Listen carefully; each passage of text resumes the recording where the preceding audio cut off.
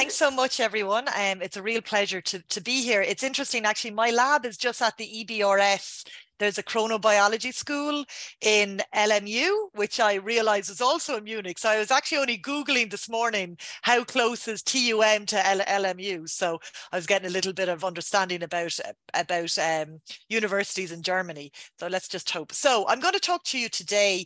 Sorry, I just need to click this. I do. I'm, is everything okay, Anna? Yeah.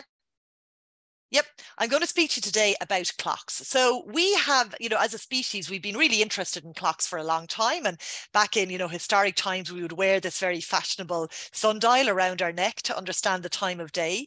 Um, if you were of a certain vintage, as I am, you will remember this uh, Coldplay, and they had a song about clocks. And actually, from where I'm from, which is Dublin, well, Ireland, uh, we even have clocks to tell the time when it's time to go for a pint. But the clock that I'm going to speak to you about today is our bi biological clock, our body clock. And the reason we have this is because we don't live in a constant environment. We live in a very 24 hour environment, and that's predicated by the fact that we're on this um, uh, a spinning uh, rock that spins every 24 hours and, and the sun stays in the one location. So we actually need some sort of a mechanism to allow us. Can you see my pointer, Anna? Yep, we need some mechanism to allow us to um, anticipate and to respond to this very predictable 24 hour cycle. And we do that mainly through light. And light then um, causes changes in the back of our eye, specialized cells in the back of our eye, and signals to the area of our brain called the suprachiasmatic nucleus or the SCN. And the SCN is considered or is considered the master clock. But about 20 years ago or so, it was realized that there wasn't just this clock in the brain. Oh, oh no, sorry my uh I've had this problem before, Ada, so I'm I'm worried. Hold on. Okay, let me go again. Can you see us? Yeah, now it's uh, presenter mode. Presenter mode. I hope uh, I'm gonna. Da, da, da, so the SCN clock, um, we thought for a long time that the main clock was in the SCN, but now we realize that actually there's clocks throughout the whole body. So, you know, probably in every organ and um, within the body, there is um, there are cells which have this timing mechanism. So indeed, light is certainly the dominant keeper or time giver um, it, in terms of our body's physiology, but also feeding is also another very important zeitgeber in terms of entraining these peripheral clocks, the ones that lie outside of the SCN. So how is this clock um, comprised? Well, it's comprised of a number of transcriptional translational feedback loops. And I'm really going to focus a lot on this area. So BMAL and clock are, are, may, are um, helix loop helix transcription factors, and they drive expression of core clock genes, including period and cryptochrome. So what happens is BMAL and clock, they're very active at the beginning of the light cycle, and they start driving expression of these genes, period and cryptochrome. But as the day continues, period and cryptochrome, as they're translated, then can shuttle back into the nucleus and actually repress the activity of BMAL1 and clock. And because then BMAL1 and clock no longer has that repressive effect, the cycle starts again. And that happens every 24 hours. now, it's not as simple as that. There's a number of ancillary loops as well, Rev-erb alpha, ROR, DBP, and NFIL3. And these ancillary loops really ensure you know, very accurate timing of this system. And if we ask ourselves, well, you know, what's the characteristic of a circadian rhythm? It's it's very clear what it has to do. It has to peak and trough within 24 hours. And, you know, from studies now in the last couple of years, we've realized that there's just a huge amount of circadian control across our body. So we know now that, you know, almost 50% of our protein coding genes are cycling somewhere in the body. And that would actually make the circadian system the largest regulatory network in normal physiology. But I would say it's not studied as much as, as it should be. Would you agree, Anna? I think you probably would. So if we think about what the body clock ensures, well, it really ensures correct timed alignment between the light and dark, the activity and rest, and the feeding and fasting. But modern life is definitely causing circadian rhythm disruption. And the reason that this is happening is that the two dominant zeitgebers, which I mentioned, light and food, are now mistimed. So we spend the majority of our time indoors in very low lighting. We, we have a very erratic light exposure. Hands up who checks their phone before they go to bed at night. Come on, don't be shy. And then we can really eat at any time of day or night. And um, again, so that, you know, feeding is such a strong zeitgeber. Um, and really our body clocks anticipate us only feeding through the, the light cycle. And really, in the blink of an evolutionary eye, we've gone from a species like this that was that our activity and our behaviors were completely predicated on the rising and the setting of the sun, to a species like this, in which you know we have very much divorced ourselves from this ex external um, environment that that we are programmed to be so aligned to. And circadian ry rhythm misalignment can cause many diseases. So in the young, childhood obesity, irritability, in middle age, heart disease, depression, and then in, in later age then a number of other conditions and when i look at this you know what really stands out to me is that a number of these conditions are chronic inflammatory conditions and you know with myself with my immunology hat on i find this really interesting and circadian rhythms, you know, exist also in the in symptoms of inflammatory disease. And this is one thing that I think is just super interesting to, to note is that, you know, some inflammatory diseases, nocturnal asthma really peaks in the middle of the night, rheumatoid arthritis, their symptoms get much worse in the morning. You're much more likely to have a cardiovascular event first thing in the morning even more likely first thing on a Monday morning, and the most likely to have it first thing on a Monday morning after the clocks spring forward for daylight savings time. And that's one of the reasons why we should stop this ridiculous um, practice of switching our clocks in spring. And we've just done it. I don't know. It's the same with you as well in Europe. We've just, we just done, did it the last weekend. And, you know, these symptoms are changing according to time of day because the immune parameters that underpin these symptoms are changing according to time of day. So, for example, rheumatoid arthritis, those symptoms peak because there's actually an increase in IL 6 in the early morning hours that's driving those symptoms.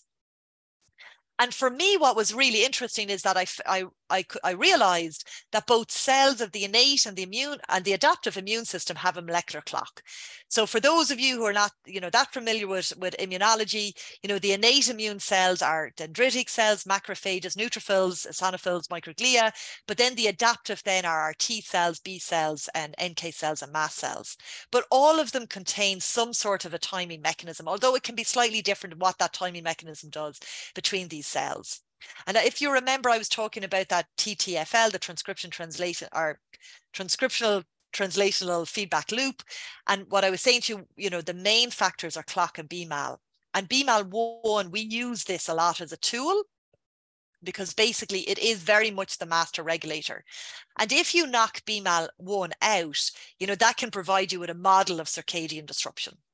There is now um, reports that other things are still cycling in the absence of BMAL1. But if we just think about the transcriptional translational feedback loop and you look at it with and without BMAL1, it looks very different. So without BMAL1, these are the red lines. What you see is, you know, very straight lines on some of these core clock genes, period one, period two, CRY2, Rev-erb alpha, DBP, which under normal conditions have these really nice circadian variations. So I'm really interested in macrophages. And, and the reason I'm really interested in macrophages is because they're like, they're the chameleons of the immune system. You know, they really, they can change. They, they display enormous plasticity. And when we sort of look at the kind of polar ends of these macrophages, we, we can classify them as M1 macrophages or M2 macrophages. And that's a very simplistic uh, um, classification, but it's useful to provide a framework for, for, for studies. But what we do know is these macrophages come in all shape, in all colors, um, like a spectrum. But if we look at, if we think about M1 macrophages, they are very pro-inflammatory. You know, their function is um, against microbes and also tumor. And, and in a way, if, if they're overactivated, they promote tissue damage. At the other side of the coin, then you have your M2 macrophages, and they have anti-inflammatory activity. They they come in after the inflammation, they gobble up the debris, they have high phagocytosis capacity, and they're really good at tissue regeneration and repair and, and other things. But unfortunately, they are very much involved in, in tumor formation. And if we look actually at, um, sorry, if we look at the different clock factors and we look at how they affect different cytokines, because that's what macrophages really do. You know, every immune cell kind of has its key function, and macrophages' key function is, is production of cytokines. And if you look now at the different cytokines that are regulated by these clock factors, what you can clearly see is most clock factors are involved in negative regulation of these cytokines. But really interestingly, clock is actually um, is actually a positive regulator of a number of cytokines. So you have two transcription factors which bind together. One is driving inflammation, that's clock, and then the other one is kind of retarding, restraining inflammation, that's BMAL1. But I suppose if we think about chronic inflammatory diseases, we have to remember that genetic variants are not cutting the mustard here. There's, there's no way that genetic variants are explaining the really big increase that we now see in many chronic inflammatory diseases. Our genes have not changed, okay? But what has changed is our environment, our behavior, and our diet. And what we've realized now is, and I don't know, does anyone remember this movie, Thelma and Louise? Great movie. But the reason I put this up here is to is to make the point that what we think now is that it's actually not genes that are driving these changes, it's metabolism. So, metabolism is likely the driver of these changes. And then the genes are just in the passenger seat responding to metabolism. And that's all we sort of come to appreciate over the last um, number of years. So, really, if we want to understand chronic inflammatory diseases, maybe we shouldn't look at gene expression or genetic variation. Maybe we should actually look at metabolism. And, and one of the biggest sensors and adapters of our environment, our behavior and diet, all of these three things which are changing, which are probably the reason why we're seeing such an epidemic of chronic inflammatory diseases, is our body clock. Now, in the last 10 years as well, that's been linked to metabolism, it's been clear now, there's actually been a bit of a revolution in the immunology field. It's been really clear now that cellular metabolism within immune cells is what's driving their function. So we now know that, we'll say, for example, with an M1 macrophage, it has a very distinct metabolic signature. And one of the key things is very high glycolysis. Okay. And it's actually quite, when you look at its metabolism, it's actually quite anabolic metabolism. It's, it's making a lot of stuff because it needs to make, you know, a lot of cytokines. If you look at an M2 macrophage, its metabolism looks different. It's quite catabolic metabolism. It's breaking down stuff like fatty acid oxidation.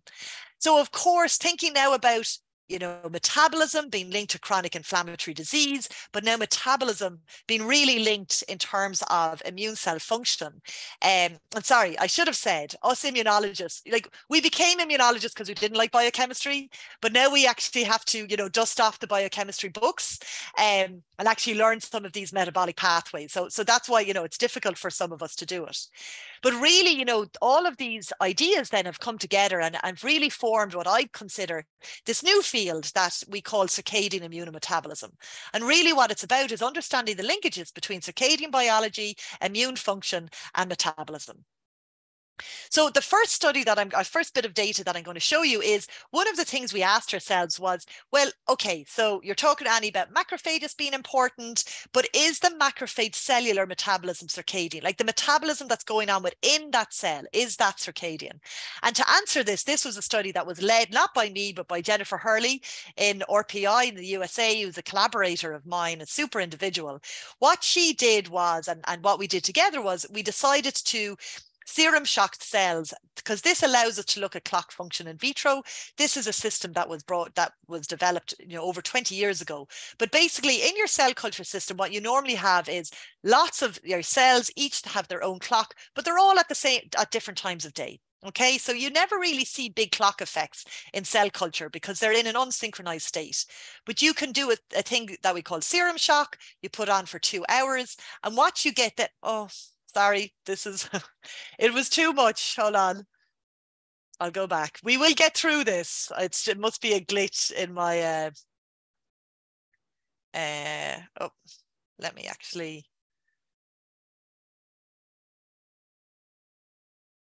If you put a serum on cells for two hours, um, can you see this now? And I'll just swap. Will I? Yeah. yeah. Mm-hmm.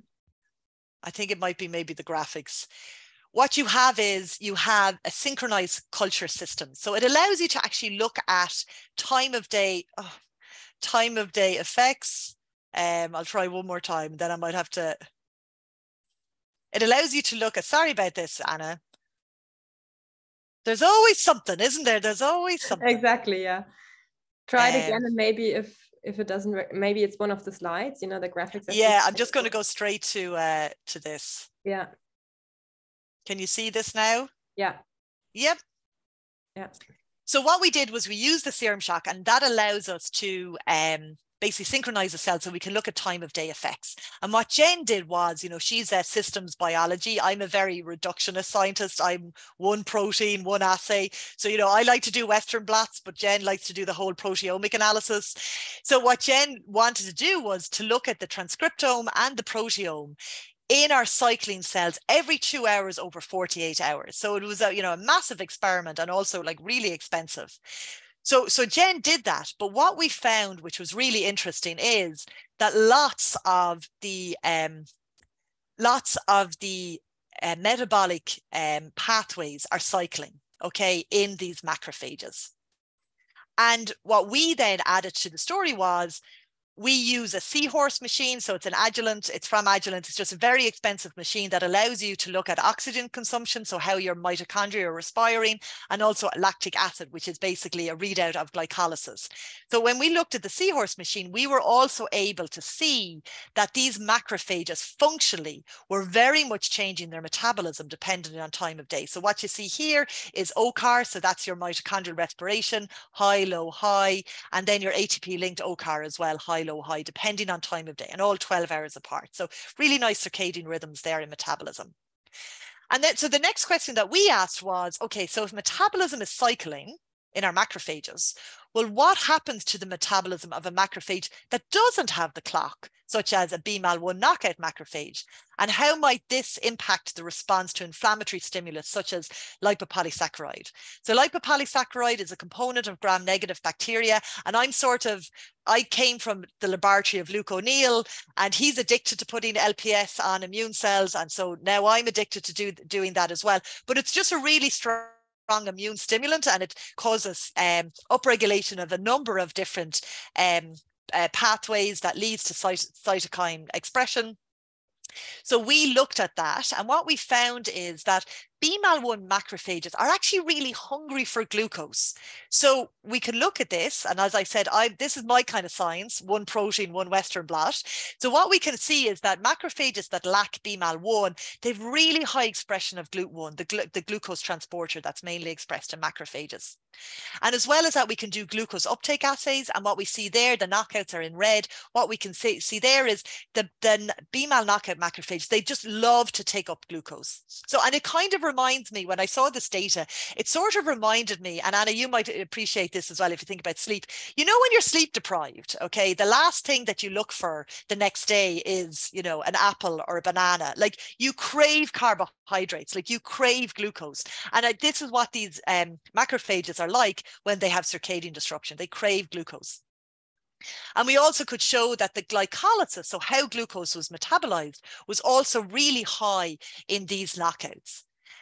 And that's really interesting because if you remember what I was saying to you, this revolution now in immunometabolism that's kind of hit the immunology field by storm, one of the key differences between an M1 macrophage and an M2 macrophage is glycolysis. An M1 macrophage is really going to ramp up glycolysis. So macrophages that lack BMAL1 are they're like supercharged M1 macrophages. That's how I uh, consider them. They're like they're they're hyper metabolic.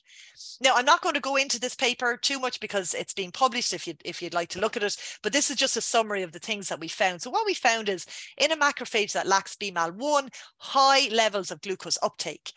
We also showed that they had high levels of this um, glycolytic enzyme called PKM2. Now, PKM2 is in the glycolytic pathway, but it also has a moonlighting function. It also goes into the nucleus. And we showed that there was more of that happening in a macrophage lacking BMAL1. There was more PKM2 going into the nucleus. And one of its roles is to phosphorylate STAT3. And also at the at the other side of things, when we looked at the mitochondria, we also saw, saw that in macrophages that lack BMAL1, those mitochondria are also like hypermetabolic. There's actually more mitochondrial respiration going on, but that's also leading to increased levels of these immunometabolites, which are coming out from the mitochondria, succinate being a key one. And this succinate actually drives increased reactive oxygen species, which actually stabilizes another transcription factor called HIF. And it's both, it's the combination of HIF active HIF and phospho-STAT3 that's causing a much larger increase in IL-1 beta in these um, in these macrophages lacking BMAL1. So, so that was the first thing. So that's when the clock is bad, okay? Or not having a clock is bad. The next talk, part of the talk that I want to discuss with you is this new data.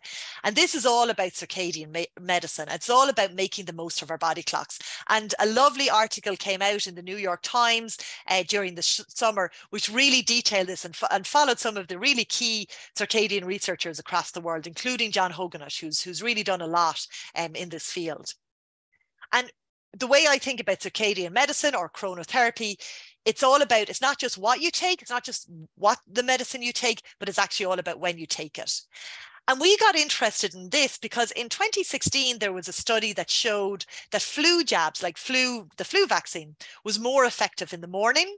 We thought this was really interesting. And what they found was that if you vaccinated actually older individuals in the morning versus in the afternoon those that were vaccinated in the morning, if you followed them up a couple of weeks later and you looked at their antibody response, they had a higher antibody response. To me, this is just really interesting because it's a really easy way to boost vaccine efficiency, right? Is to really under understand the time of day that might be the most appropriate for the vaccine that you're given. And so we then asked ourselves, is the clock within dendritic cells responsible for time of day responses to vaccinations? And if so, how? And if if if you're not an immunologist or if, if you don't remember your immunology 101 from your undergrad, dendritic cells are also part of the innate immune system. They're kind of first cousins of macrophages. So whereas macrophages are really great at producing cytokines, the key function of dendritic cells is to present antigen to T cells and to mount the adaptive immune response. And this was work that was done by Mariana Cervantes and, and Richie Carroll, who have since left my lab. So as I said, dendritic cells, they're fantastic at taking up antigen, processing it and presenting it to T cells. So this is your antigen. So this could be what, you know, whatever antigen you're thinking, could be even the spike protein of SARS-CoV-2. They take it up, they process it, they chop it into bits, and then they present it on either MHC class one or mainly MHC class two, sometimes MHC class one. That allows then T cells, which have a T cell specific receptor to that antigen to bind to those dendritic cells and that interaction causes clonal expansion of T cells. So it, allows T cells to rapidly expand. So we were trying to figure out, okay, we need some sort of in vivo model that allows us to kind of to really just home in just on what the DCs are doing. Because a, a paper about two years before us had shown that the T cells have a clock and that they're very important for vaccine response. So we wanted to separate that out. We spent a lot of time trying to think about what might be the best experiment, and we came up with this. So what we did was we took mice and we actually adoptively transferred in T cells. So these are CT, they're stain, stains T cells, and they are OT2 T, cells. So they basically have the T cell receptor that's specific to the antigen that we're going to use, which is OVA peptide, which is just a model antigen that us immunologists are, are use a lot because we have lots of tools to, to, to look at it. Okay. So on day minus one, we put these into the, the mice. Then a couple of hours later, oh, sorry, sorry, we isolated these from the mice and then a couple of hours later, we took separate mice that had been entrained either to to two different times of day using a cabinet, using a, a circadian light cabinet. So, and I have to say, this took a lot of explanation to the reviewers of our paper because it's a really hard thing if you're not used to it to actually explain. So, so these mice were coming out and they were coming out of the cabinet when they were at ZT7, which is seven hours after the lights go on, or ZT19, which is 19 hours after the lights go on, but the lights will go off at ZT12 because you know it's 12 hours light and dark in a mouse facility. And if it's not, if you, if you don't have that, you might be in trouble in your mouse facility. So make sure you do. Um, and then so what we did was we put those um, cells in, and then the next day, then we immunized the mice. And then we, uh, three days later, we harvested the lymph nodes and we looked at T cell proliferation. So the way we kind of view this is this would allow us to sort of specifically look at the DCs because the T cells were the same from the from one animal going into two the two animals that were entrained into the two different times a day. And what we found is if you immunize mice at ZT7, that produces a much greater T cell response than those immunized at CT19. So this is just the PBS controls. And what you're looking for here is this is a um, flow cytometry FACS plot. And what you're looking at here is T cell proliferation. So here, these are our CTV T cells with PBS, they do not proliferate. But if you look at the animals that um, got our CTV cells, what you can see is even CT19, ZT19 immunization, they do proliferate, but they actually proliferate a lot more if the immunizations happen at ZT7, and we can quantify this. So ZT7, which is, you know, about one o'clock in the day, it's sort of in the middle of the mouse's rest phase, seems to be a really good time to immunize mice. And we could also see this by CD69 staining, which is just a marker for T cell activation. So then we wanted to understand why this was, and we went back to our serum shock model, and we did this in bone derived DCs. So what we looked at is antigen processing. And there's a really cool tool that you can look at antigen processing called DQ-OVA. And basically what it does is it's a quench substrate normally, but if it gets processed, if you chop up your antigen, it fluoresces. Okay, so it allows us to look at antigen processing within cells um, across the time of day. And what we found was that DCs process antigen much greater at dawn than dusk. Okay, so you can see much higher antigen processing here, not a lot here. Uh, but then in a BMAL knockout, they're not processing antigen that well at all. And when we did the quantifications of this, what you can see is that in a wild type dendritic cell, you get this beautiful circadian rhythm of antigen processing, but in a BMAL knockout, it's just a flat line. So, so there's no rhythms there in antigen processing. We also then wanted to see if this was happening actually in vivo. So we did an ex vivo assay where we took out CD11B or CD11C splenic DCs. And again, we looked at our antigen processing with this DQ-OVA substrate. And what we could see is that, yes, it was changing according to time of day. It was actually low at ZT7 and started to increase as we went up to ZT, ZT19. And we can talk about why we think that's happening, how that um, correlates with the in vivo data in a second. But if we looked at a dendritic cell that didn't have BMAL1, the DQ-OVA uh, processing was less. So then we were trying to rack our, rack our brains and we're like, okay, what is generating this rhythm in antigen processing? And we thought the mitochondria were probably going to be important. So what we did was we looked at antigen processing in the presence of mitochondrial inhibitors. So this is DQ-OVA processing or antigen processing. But if you add oligomycin, which is an ATP synthase inhibitor, or FCCP, which basically uncoupled the membrane potential of the mitochondria, what you can see is a drastic reduction in antigen processing. And then our BMAL knockouts had less antigen processing, as we had said before, but you also see this a similar reduction. And then really the proof of the pudding here is not just antigen processing, but it's T cell activation. And we can do these co-cultures where we take our DCs and we put in our OT2 T cells. These are very specific for, for OVA. And we can look to see what happens in, and if you do that and add OVA, you get um, lots of interferon gamma because your proliferating T cells are producing more interferon gamma. But if you add oligomycin or FCCP, again, you can block that.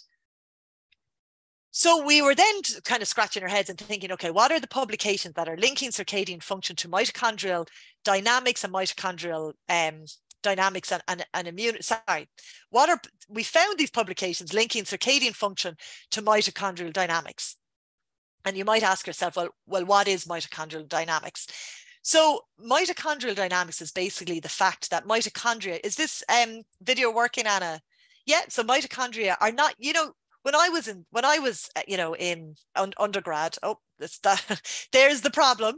Um when I was in undergrad back in the medieval times um you know we were told that like mitochondria were these peanut shaped organelles and you know they basically just floated around the cytoplasm. We now know that that's not the case. They're like highly dynamic and they basically can form networks or become fragmented um, depending on what's going on in the cell. So I'm not even going to try to show that video, but I hope you hope you got to see a little bit of that video just to uh, to whet your appetite. So what we can see with mitochondria is they can form these really long networks, which is mitochondrial fusion, or they can like fragment into like little the peanuts, which we were told that's what mitochondria constantly look like, um, depending on what they need to do. And depending on the morphology, that dictates their metabolism. So if you have an elongated mitochondria, they're really good at doing what mitochondria is supposed to be doing, oxphos, ATP. But if you have a fragmented mitochondria, then you have a reduction in oxphos and, and ATP. And what we could see is that the morphology in these dendritic cells was changing with time of day. So at dawn, the morphology of our dendritic cells was much more fused, much more elongated, whereas at dusk, it was like real punctate. But in a BMAL knockout, it was punctate no matter what time of day. And then we did a lot. So we quantified that. So you can see this really nice circadian rhythm and mitochondrial fusion. And I should say this had been seen in other cells cells. So it had been seen in fibroblasts and it had been seen in liver cells as well. That there's this circadian variation in, in fusion and fission. And we also showed then that metabolism was circadian, you know, under this was under this was underpinning circadian metabolism. So oxygen consumption was cycling in the wild types, flat in the BMAL knockouts. Same with ATP production, and then membrane potential was also cycling in the wild types and flat in the knockouts. And I just want to say here, because you know, I often think when people especially for early career researchers when they see data or, or, like when they see talks and they think oh my god i'm not doing enough or you know my stuff isn't working quick enough. I can tell you now this slide took us two years to do. So the data on this slide took two years. So you know this is not a this is not a quick and easy uh, career that we're in. It's you know you have to be in for the long game. So just just know that. So because i often think i know when i was an early career researcher i used to look at talks and think mother of God, like what's wrong with me? You know, nothing because nothing worked for me in my PhD for about three years.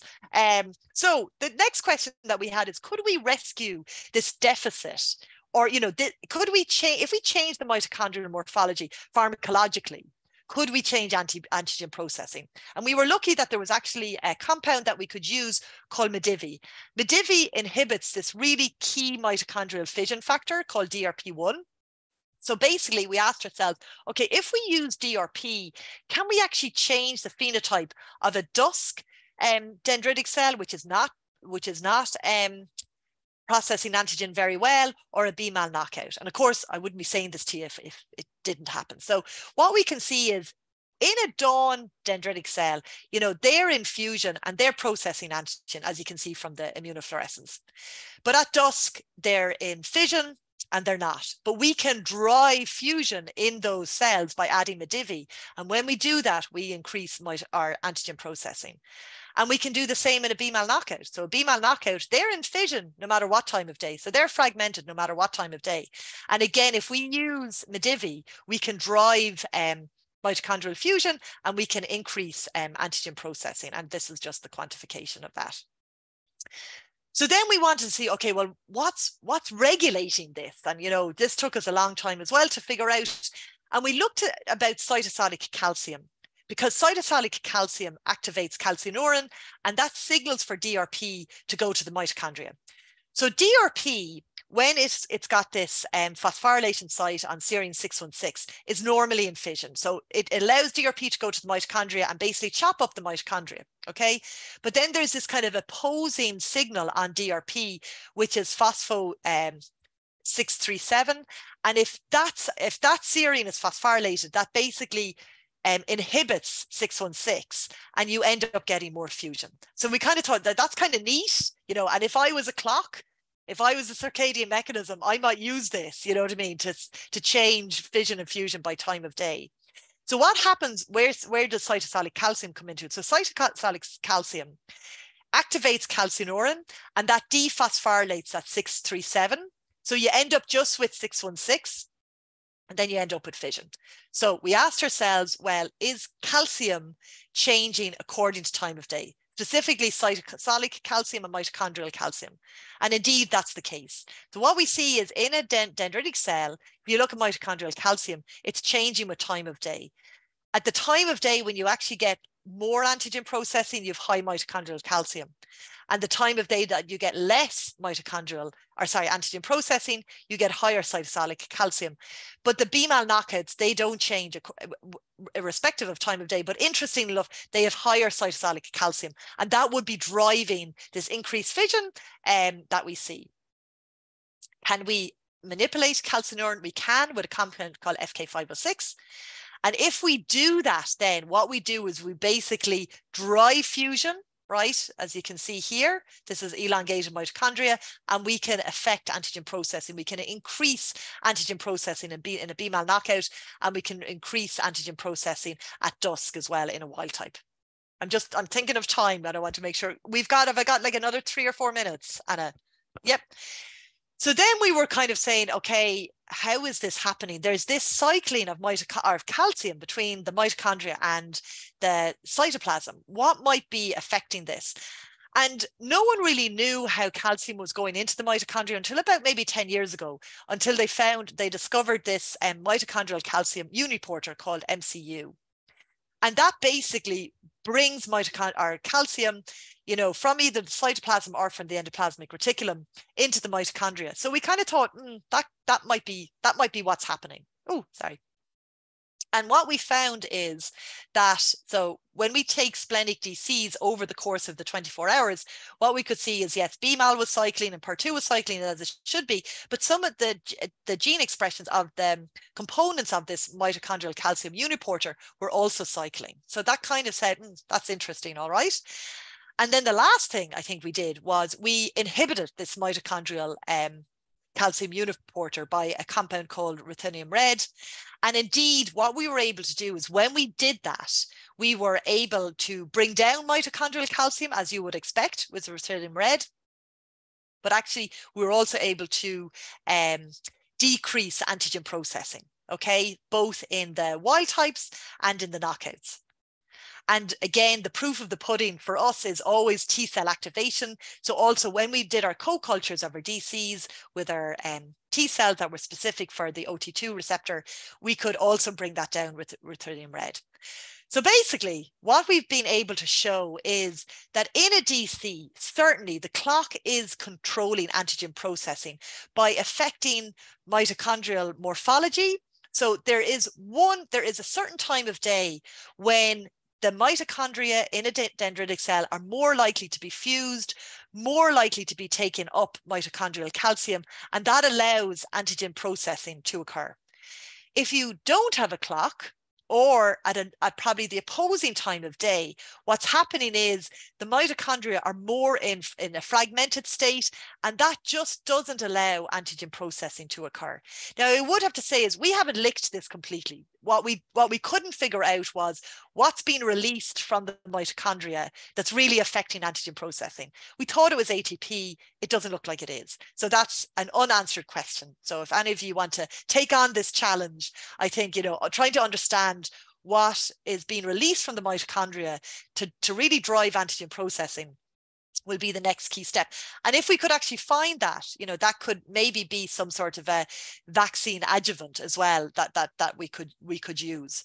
But certainly, you know, we are looking into the prospect that Medivy, which drives anti our mitochondrial fusion, whether we can look at that when whether we can use that as sort of a, a vaccine adjuvant. So basically what I've what I've hoped I've showed you is that, well, first of all, the circadian clock is really important in innate immune cells. And when it functions properly, what you have is appropriate immunometabolism, a controlled inflammatory response, lower incidence of chronic inflammatory diseases. We see this across a number of animal models, enhanced DC function and, and enhanced vaccine immune response. When it does not function properly, when it is impaired, what you get is this massive immunometabolic rewiring so the, the cells become really glucose hungry. They really re rewire their metabolism. That really changes the inflammation, becomes very dysregulated. You have a higher incidence of chronic inflammatory disease. Not just work that we've done, but there's lots of other people who's now who've now shown this. You've impaired DC function as well, and probably impaired vaccine immune response, which again, you know, points to the fact of, you know, why it's difficult to to get robust vac- um, a vaccine response, say in elderly individuals or even individuals who are obese. So with that, this is an old clock slide, which I was trying to change just as Anna was introducing me. So if anyone from my lab ever looks at this talk, I'm sorry, this was an old slide. I didn't have everyone in here who contributed to the study, but I'd just like to thank all our collaborators and our funders, but specific for this talk, Kingston Mills and, and David Finley's lab in Trinity have been immense. Nick Jones and Emma Vincent's lab really helped um, with the immune and metabolism stuff in macrophages. And then I just would like to thank you for your attention. And this is the beautiful city of Dublin um, by day and by night. So if you have haven't been here, make sure you get over here. It's good crack. Okay, thanks, Anna. Thank you so much, Annie. That was just fantastic. Um, so much enthusiasm, uh, enthusiasm coming from your side, and just congratulations to this amazing work. I mean, um, we've seen how much how much time it takes. Um, so yeah, thank will you. Will I end much. the show because uh, I'm I'm afraid this thing is going to click crank again. So will yeah, I start I think sharing? you figured out the problem. yeah. um, so uh, thanks also for the participants. Do you have any questions? If so, put them in the chat. You can also unmute yourself um, and um, and uh, yeah, turn your video on. And while this is happening, um, yeah, I, I, mean, I've written down a number of questions here, Annie, and actually, you you made me understand some of the things because I'm not an immunologist at all. I have no idea, but um, just maybe let's start with. Um, so you've shown this really fascinating uh, finding that um, vaccinations, of course, um, you know, as, as, as you said, don't have the same effect depending on time of day. How how big is that effect size though? Do you do we really care about this, or is it like yeah we I mean yeah it's nice. I mean it, we could improve it, but actually you know it doesn't matter that much. Well, I think you know like certainly when we started the study, vaccines weren't as in vogue as they are now. Um, and I think you know what we've really really realized is that certainly you know a small increase in vaccine efficiency can have a big effect. You know especially when it comes to pandemics. But as well as that, like even in terms of, we'll say, trying to vaccinate the elderly with the flu vaccine, you know, even a small increase. Now, we, we haven't figured out, you know, how this would translate into the clinic. But if we did, if we look at um, some of the work that's been done, yes, there is. It's not a huge effect, but it is a, it is an effect, and it's an effect that can be achieved cheaply. And so that's sort of the way I look at it. Now, I would say I don't think every vaccine will have the same, mm-hmm. will be will want to, to will work most efficiently at the same time. So a number of like so we can see now with the flu vaccine, it's probably early morning. The um, SARS-CoV-2, the mRNA vaccines, that kind of looks like it's it's early afternoon. Now that could be a very different mechanism of action because obviously with those mRNA vaccines, it's probably all about transcription and or, or, it's all about translational effects, you know, ribosomal biogenesis and, and all of that. So I just think it's it's interesting to figure out about the time of day. But the other thing that I would sort of the way I would look at it is it's not just about the time of day. If we can figure out the appropriate time of day, we have an understanding of things that could actually enhance it pharmacologically. So for example, now that we know that mitochondrial fusion is important for DCs in terms of their antigen processing. You know, can we use something like Medivy then as a vaccine adjuvant, you know, at any mm-hmm. time of day? Mm-hmm. So understanding how this beautiful circadian system works kind of reveals to us certain mechanisms that we can try to target. Yeah, that makes sense. And of course, what complicates the situation that we haven't even talked about individual differences, maybe mm. chronotype differences that play a role here.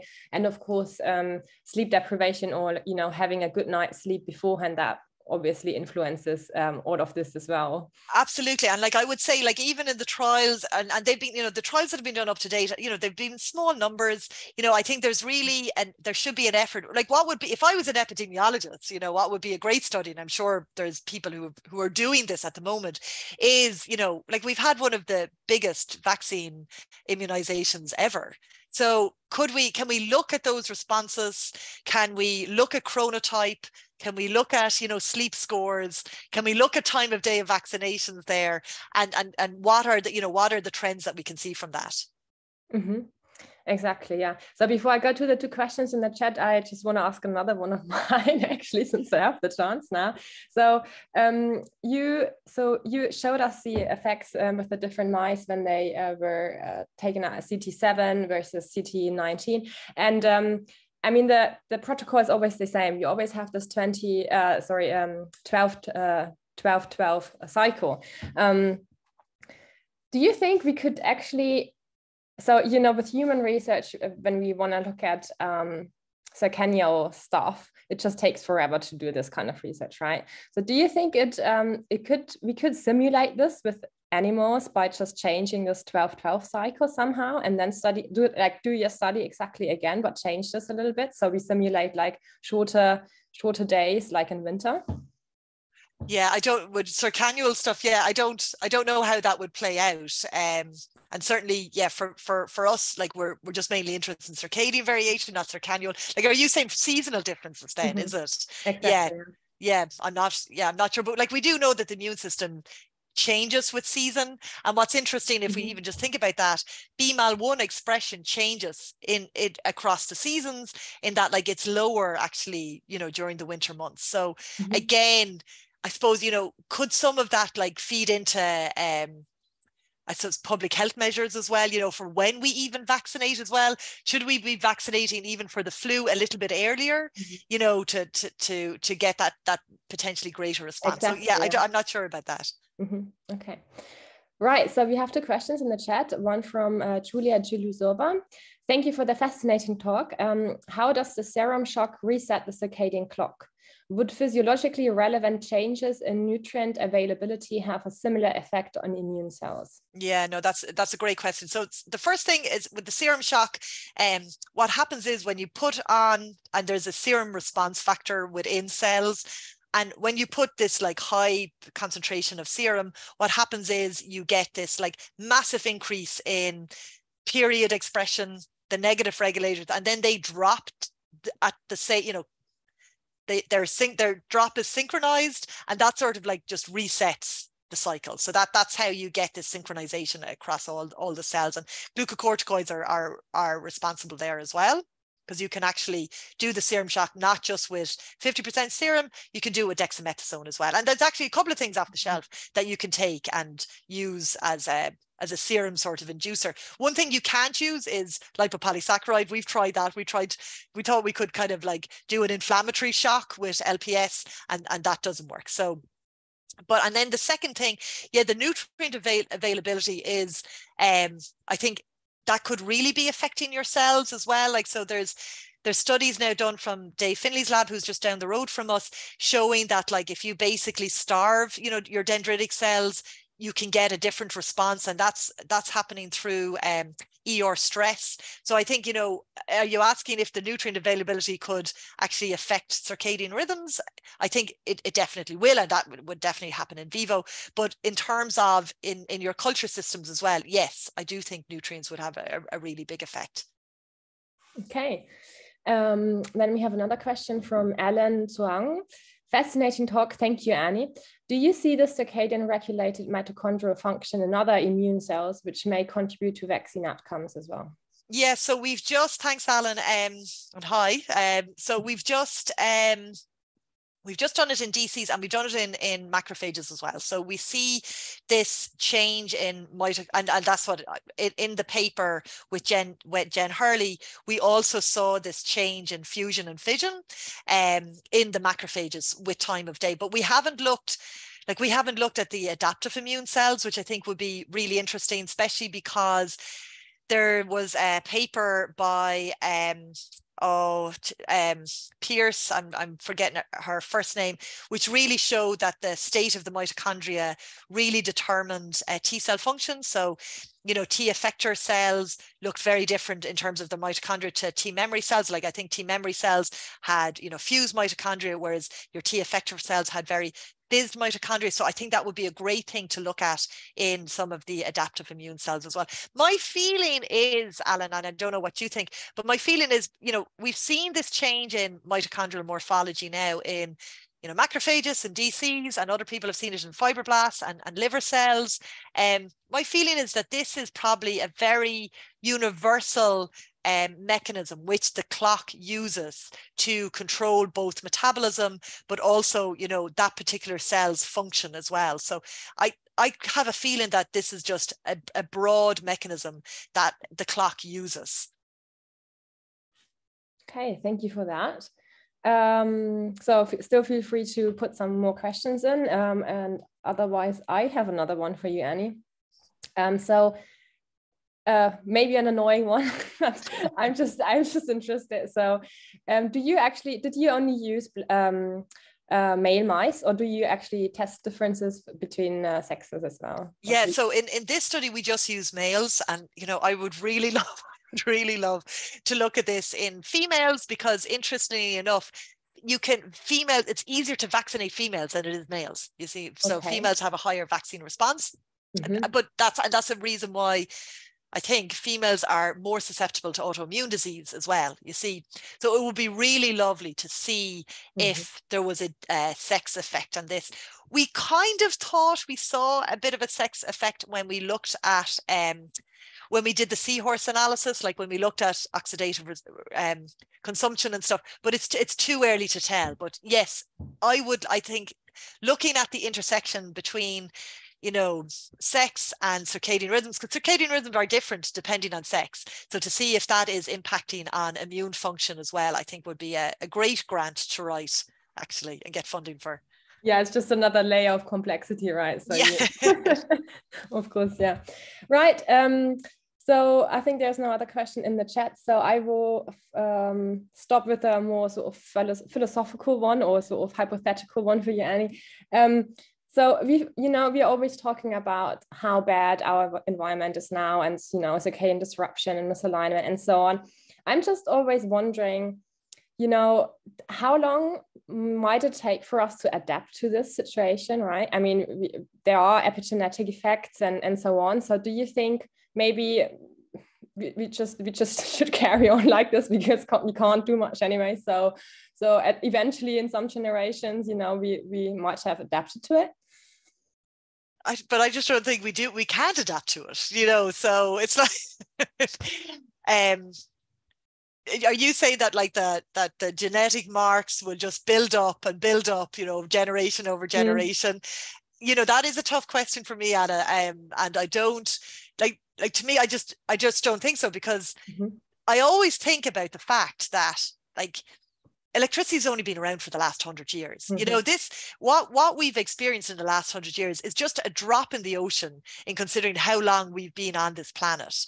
Um, so I think if we are going to adapt, it's going to take us a heck of a long time to adapt. And yeah. I'd say, you know, the rate we're going with climate change and all of that, we may not, you know, that that you, you might not be there anymore, right? Exactly. well, let's hope. No, I, I'm I'm very hopeful for that. But um, yeah. But but, but yeah, like this is I, I just think, you know, when you see just how pervasive the circadian rhythms are in every system in the body and how important they seem to be.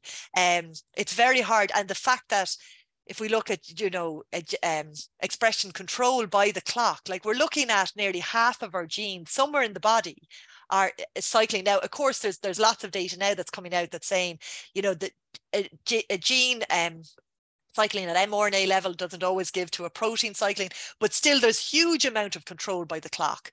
Um, and, and so I think when you, when you look at that, it, I think it would just be very hard for us as an organism to, to adapt.